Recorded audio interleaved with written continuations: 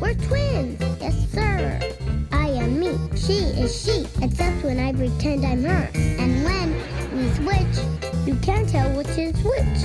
You don't know who you're talking to, because we are identical, identical, identical, identical twins. We love you.